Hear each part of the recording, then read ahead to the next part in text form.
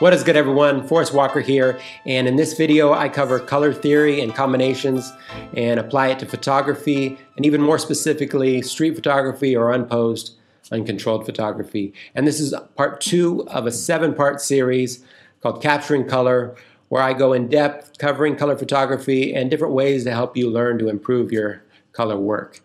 So let's get into it for this video, color theory. And first off, why is it important to learn color theory? Well, of course, artists and painters, they learn color theory in school because it does help them utilize colors in different ways and be able to see and apply color to their work and make it stronger and make it more connected to their vision. But learning it definitely benefits photographers too. And when you see more studio work or pose work like advertising, you definitely see color theory applied, but it can help candid street photographers too because just being able to see how color theory works then you see it outside on the street and you recognize it and you know what's going to look good in a photo, which is extremely important when you're out there. But we're going to get more into that. First, let's get into the basics of color theory. So you have a color wheel here. There are three orders of color. You have your primary, your secondary, and your tertiary. And on the color wheel here, we have the RYB color. So that's red, yellow, and blue. Those are your primary colors. Those are your pure colors that all other colors are derived from. Then your secondary colors would be equal parts of two primaries. So you would have a red and a blue would make a violet or purple. You have yellow and blue, which makes green. And then you have yellow and red, which makes orange. So those are your secondary colors. And from there, you do have tertiary colors too, which are primary and a secondary mixed together. So those are your three orders of colors. And when it comes to primary colors, those are the ones that really stand out. Secondary colors stand out too, but to a lesser degree. And then your tertiary colors stand out even less. So those are more kind of mood and atmosphere. Also, when it comes to cold or cool colors and your warm and your hot colors, the cool colors are your blues and your greens, while your hot or warm colors are your reds and your oranges and yellows. Those colors have an impact on the viewer psychologically. Cool, you think of warm colors, they, they create a different type of feeling from the viewer when you see these colors. So these are things to note too in photography and art and everything. And from there, getting even a little deeper into color, you have your hue, saturation, and your luminosity. And if you do any editing, your editing software is going to have an HSL slider. So H, hue, saturation, S, luminosity, L. And hue would be the specific color on the spectrum of colors. Saturation would be the intensity or the amount of color, and luminosity would be the brightness of color. And if you play around with that on your sliders, you'll see how it changes. But when it comes to the natural world, you see these too. You have different hues, different colors, and then you also have different saturation intensities, and then you have different luminosity. And one thing I'll talk about a lot in this series is how light and color connected. Color is light on the spectrum, but Light also affects color greatly outside, so the amount of sunlight you have will affect the luminosity of your colors in your scene and your photo. And moving on from those basics of color theory, now we can really get into how we can apply it to our color work, and that's in different color schemes and combinations that we see out there. First off, one of the main color schemes or combinations are complementary colors. And complementary colors are just colors that lie on the opposite ends of the color wheel. So you would have your red and your green would be complementary colors. You would have your orange and your blue being complementary colors, or a yellow and a violet. So since complementary colors lie furthest away from each other on the color wheel, they create the most contrast and stand out against each other the most. But like the name says, they also complement each other and create balance. So they look really good together. And you can see the strength of complementary colors utilized in many places. You can think of even companies and their logos or sports teams colors is a big one. Like in the NBA or basketball, you have Los Angeles Lakers, their colors are purple and gold or purple and yellow, complementary colors. Or you have the New York Knicks, blue and orange. Complementary colors just look great together while still standing apart but not fighting each other. And in a photo, they can look amazing. And you can see that in a lot of photography work. And throughout this series, I'll show examples of how these different color schemes work well together in a photo, especially in parts six and seven, where we really go in depth on photos. But knowing and seeing how complementary colors work well together will allow you to look at different scenes and know how they'll look in a photo.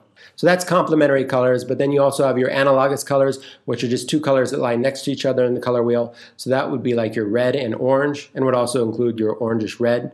So those colors that lie near each other, they create more of a harmony. They're pleasing to look at together, but they don't have that same vibrance or contrast that a complementary color would. So analogous colors are good for mood, atmosphere, maybe a background and things like that usually, but there's a lot of different ways you can use it. And then you have monochromatic colors, and when people hear monochromatic, they usually think black and white, but it really just means one color value or one base hue. And from that one base hue, you can extend in different shades, tints, or tones. What different shades mean is basically that you're adding black to that specific color, which makes it darker.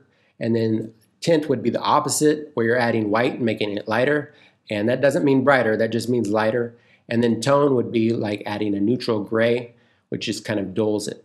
So just think of that in color. So you could have a red, but some of it could be darker red, some of it could be lighter, some of it could be duller, but it's still all at the base red. And this might be a little more rare to find out in the natural world, but you could have a background that's monochromatic, and then you could just wait for a certain other color to get in there. So you could imagine a monochromatic background and one color in front of it, how much that color would stand out, especially if it was far away from it on the color wheel. Or you could have monochromatic, just like a gray, gray buildings, and then color in front.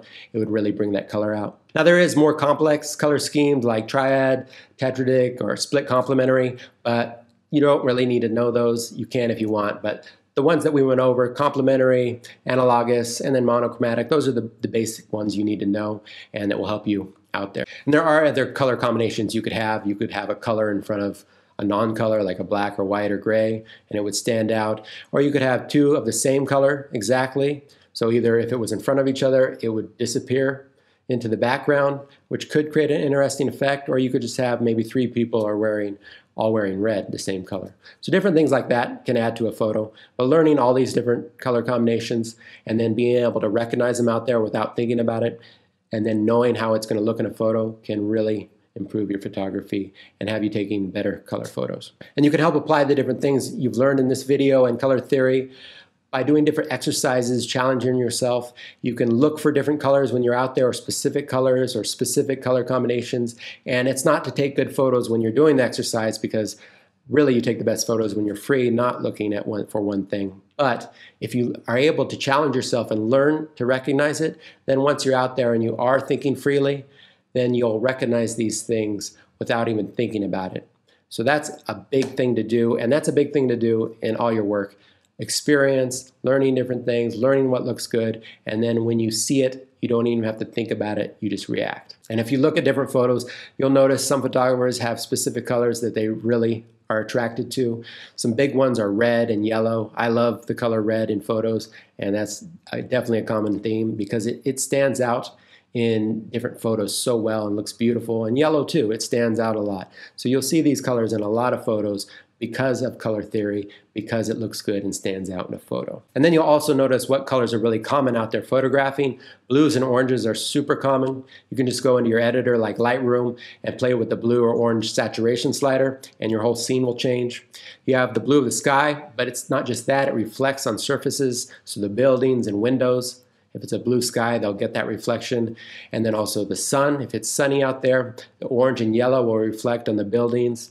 And it's just, you'll notice different surfaces, different buildings, like the concrete has a specific color that you might not even notice that it has orange in it or blue. So a lot of different things, the more you look at colors and look at color theory, you'll see how scenes can work together. There's also people, there's a lot of orange and skin color, and that goes for all, all, races. There's always some orange in there. So just recognizing the different colors in your scene, you can create better photos. So that brings us to the end of part two in this Capturing Color series. Next up is part three, where I go over different tips of how to see in color when you're out there photographing. So we're really gonna start focusing on more street photography and unposed work and how to see in color, how to see different things, also applying the stuff we learned in this video here, part two, color theory and the different combinations. So get ready for that. That should be a good one for my Patreon subscribers. And thanks for watching. Until next video, cheers.